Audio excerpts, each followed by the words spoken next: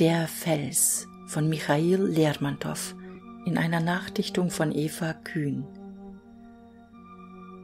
Blieb ein Wölkchen über Nacht zu träumen, an des Felsen Riesenbrust sich schmiegend, tanzte andern Tags im Winde wiegend fort durch blauen Äther ohne Säumen. Doch ein feuchter Hauch hing da noch vage in des alten runzeligen Poren, grübelnd in der Einöde verloren steht er still und weint am hellen Tage.